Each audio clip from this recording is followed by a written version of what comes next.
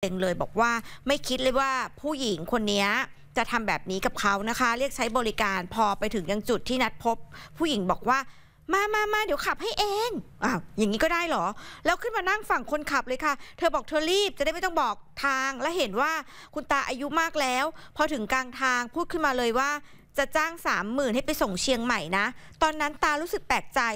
พอรถจอดกำลังติดไฟแดงอยู่ พยายามจะแย่งกุญแจรถคืนค่ะเพราะรู้สึกเอะใจแล้วไงก็ยื้อแย่งกันในรถ คนข้างนอกเห็นคิดว่าเป็นเรื่องผัวเมียค่ะ ไม่มีคนสนใจเลยอะจนกระทั่งผู้หญิงคนนั้นน่ะเปิดประตูฝั่งที่เขาคุณตานั่งอยู่อะแล้วผลักคุณตาออกจากรถไปเลยนะคะ ได้รับบาดเจ็บแล้วผู้หญิงก็ขับรถหนีหายไปเลย คือน่าสงสารคุณตามาก บอกมีรถอยู่คันเดียวใช้ทำมาหากินเลี้ยงปากท้อง และอยู่กับคุณยายในวัย 73 ปีนะคะ ไม่คิดเลยว่าผู้หญิงคนนั้นน่ะจะใจร้ายทำอย่างนี้กับคนแก่ได้ลงคอ ถ้าเป็นพ่อแม่เขาอะทำแบบเนี้ยถูกทำแบบเนี้ยจะรู้สึกยังไงฟังคุณตาเลยค่ะ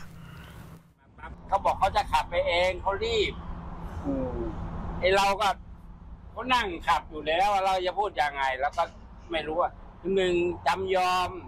สองเราก็เห็นเป็นผู้หญิงว่าก็คงไม่มีอะไรครับในใจคิดอย่างนั้น อืมเอ่อคิดไหมว่าผิดสังเกต คิดสิครับ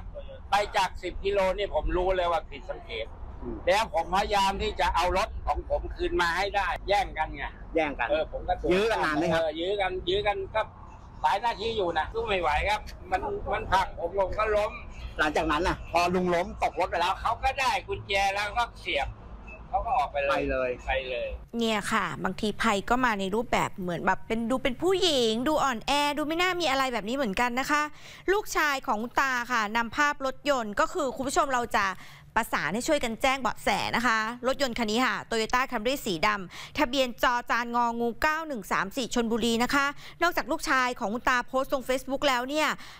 ลูกชายก็ยังขอพลังโซเชียลช่วยกันตามหาเบาะแสก็คือช่อง 8 วันนี้นำเสนอข่าวให้แล้วนะ คุณผู้ชมที่อยู่ในพื้นที่ชลบุรีและใกล้เคียงถ้าเห็นรถคันนี้นะคะ ช่วยแจ้งเบาะแสหาตำรวจได้เลยจะได้ติดตามตัวผู้หญิงคนนั้นน่ะมาดำเนินคดีด้วยค่ะ นางจะไปเชียงใหม่ใช่ไหมไม่รู้ว่าไปหรือเปล่าด้วยนะไปถึงเชียงใหม่หรือยังเนาะออไม่รู้ว่าใช้รถตาเนี่ยไปถึงเชียงใหม่ไหมค่ะและข้อมูลเพราะว่าตาแกขับ GrabCar GrabCar ก็ต้องลงทะเบียนระบบของคนขับถูกรวมถึงระบบของสมาชิกทุกคน คนที่มาใช้บริการก็ต้องมีข้อมูลใช่ต้องมีค่ะข้อมูลต้องมีชื่อนามสกุลต้องยืนยันตัวตนได้เผลอๆตามไม่ยากเนอะพี่ชันเนาะใช่ค่ะ เอออมอะฝากด้วยละกันนะคะคุณผู้ชมรู้ข่าวไวเข้าใจง่ายกด subscribe ข่าวช่อง 8